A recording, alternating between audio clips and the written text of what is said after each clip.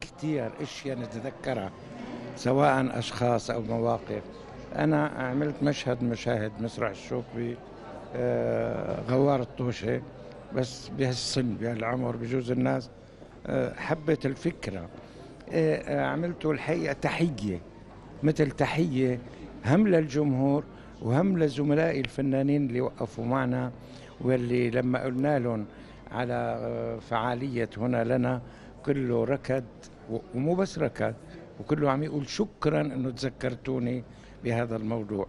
إحنا عنا عنا ناس كثير. طبعا ممكن بالمرات الجاية يعني آه، ينعمل شيء بخص آه، فنانين راحلين يعني آه، طبعا إحنا ما عم ننسى لا ما ناسيانين لكن اللهم صل على النبي يعني سوريا سوريا كانت تملك يعني ناس كثير مهمين وكثر. نشوف حالنا بتاريخنا إنه الذاكره قديش كانت منيحة وأنا كثير فرحت إنه كثير من الناس هي اللي طالعة. عم بتقول إنه ما كنا عرفانين إنه هذا شغل أبو خليل أباني.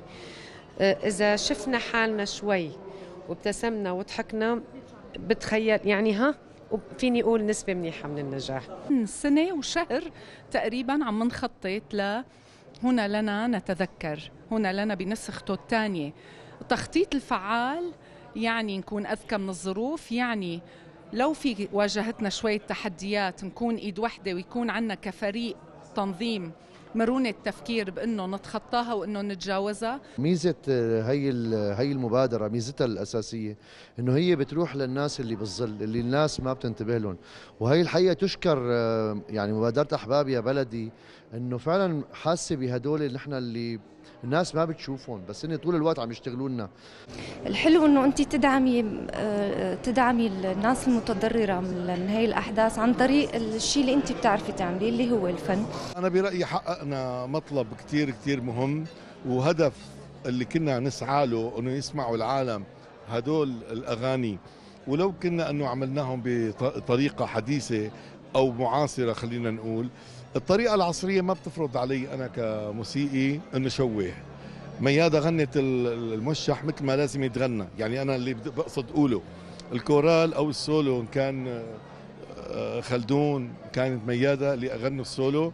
غنوه بشكل مثل ما لازم يتغنى. الحقيقة المبادرة دي أنا يعني بشوف إنها منفردة في نوعها لأن ونشكر القائمين عليها وخصوصا الأستاذة عبير لحام. آه، اولا إنها آه، فيها طابع آه، فني جميل يعني ومبهج أنا حضرت الحفلة أول امبارح واللي عجبني فيها إنها كانت مبهجة.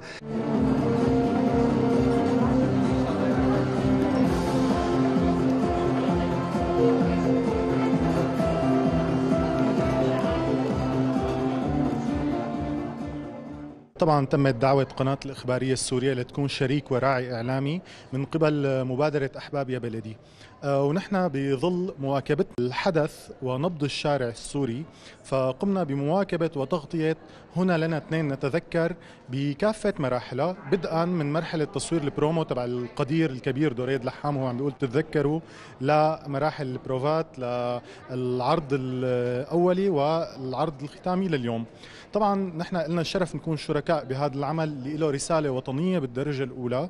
عم يتذكر فئة من الناس هن جنود مجهولين هن ساعدونا على الصمود والقيام خلال سنوات الأزمة وعم بيساعدونا لليوم.